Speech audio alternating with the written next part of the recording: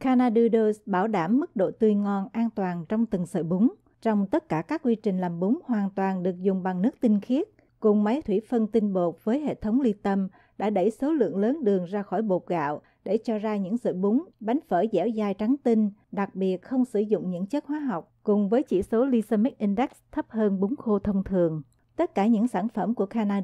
đều đạt tiêu chuẩn của FDA, gồm 3 loại, bún tư sợi nhỏ, bún bò tươi sợi lớn và bánh phở tươi. Cơ sở Kana Noodles tại 5240 Highway 96, Suite 107, Youngsville, North Carolina 27596, số điện thoại office 919 324 8053 hay cell phone 919 264 6287.